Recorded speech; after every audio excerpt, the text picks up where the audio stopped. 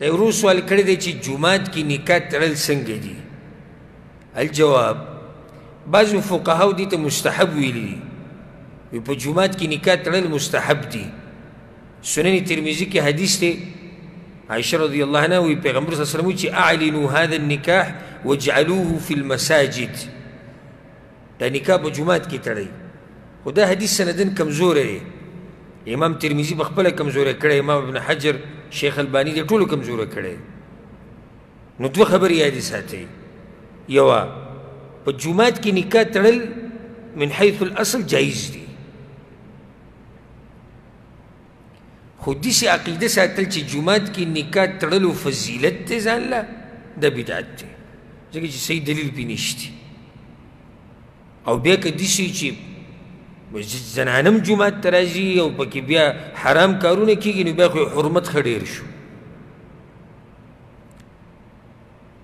خلاصه دا شوه چې جومات کې نکاح تړل څه دي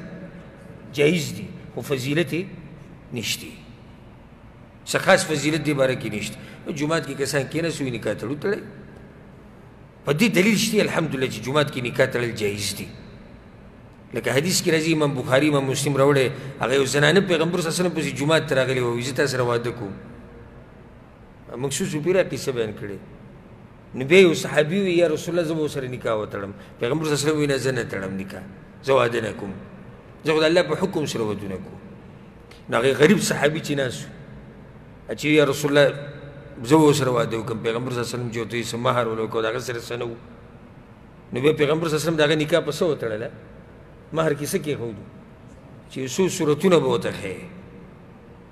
تا دې چې کوم صورتونه د قران دې دا به توګه نو دا نکاح وتړلې شو کوم ځکه فجمات کې وتړلې شو نو دې ثابت شوی جمعات کې نکاح تړل جایز دي خو څه خاص فضیلت